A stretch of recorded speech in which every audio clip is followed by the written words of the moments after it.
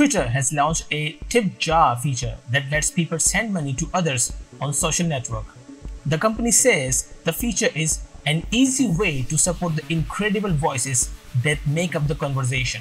To begin with, only a select group of people can receive tips. A group Twitter said was made up of creators, journalists, experts, and non-profits.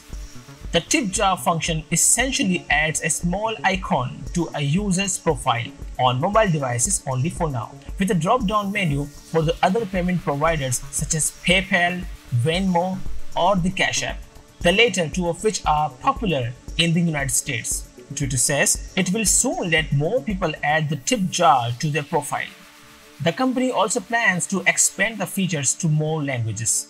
Accounts that have TipJar enabled will display a dollar bill icon next to the follow button on their profile page.